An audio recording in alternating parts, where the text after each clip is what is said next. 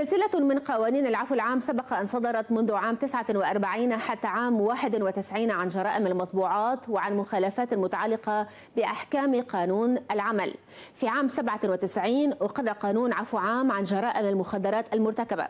وفي عام 2005 أقر قانون العفو العام عن رئيس حزب القوة اللبنانية سمير جعجع وموقف الضنية يعود اليوم البحث في قانون للعفو العام. سبق أن نوقش غير مرة ولا تزال الإشكالية فيه هي هي. فهو ليس إلا مرآة لانقسام المجتمع ليس بين القوى السياسية فقط بل بين طوائفه أيضا. لكل من المسيحيين والسنة والشيعة هواجس في القانون المطروح.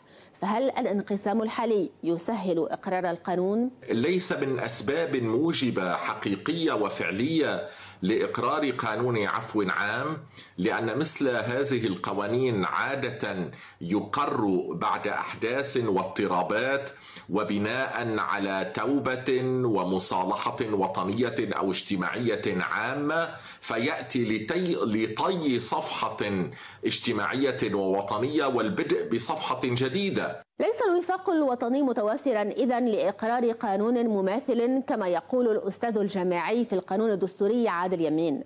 فالقانون يتضمن إشكاليات عديدة في الصيغة الأساسية المطروحة أو في اقتراح التعديل للنائب بهي الحريري ولأن إحصاء عدد السجناء والمحكومين عليهم في مختلف الأحكام غير متوافر في لبنان فالأرقام التقريبية تشير إلى أن عدد السجناء في السجون اللبنانية كافة يبلغ ستة آلاف سجين.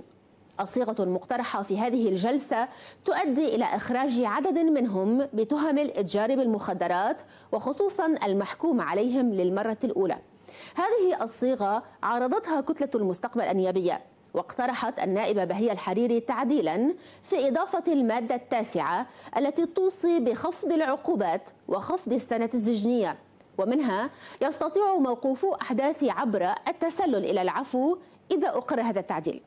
ماذا يعني هذا الكلام؟ يعني أن العفو سيعود ويضم الاستثناءات ما سيؤدي إلى الإفراج عن عدد من مرتكبي الجرائم ضد الجيش اللبناني والمتهمين بالقيام بأعمال إرهابية هو انقسام سياسي مبطن بانقسام طائفي ففي الوقت الذي تبدو فيه الطائفة الشيعية معنية بالإفراج عن المحكومين والمتهمين بالإتجار بالمخدرات وعدد من مرتكبي الجرائم في البقاع تبدو الطائفة السنية معنية بالموقوفين الإسلاميين وخصوصا موقوفي أحداث عبره.